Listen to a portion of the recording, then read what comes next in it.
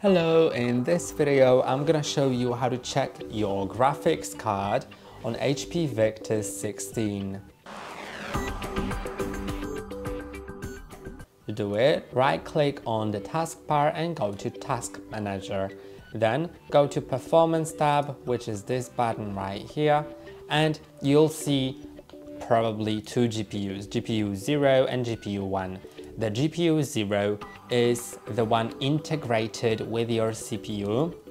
It's worse and it doesn't have as much performance, but it's less, um, it just consumes less power. So that's great for less extensive tasks. And the other one is the GPU 1, which consumes way more power, but is also way, way more um, way more, um, just has way better performance.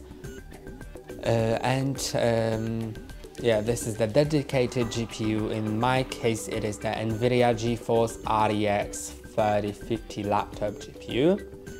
And um, here are other data about it as well. That's all for today. Don't forget to like and subscribe. See you next time.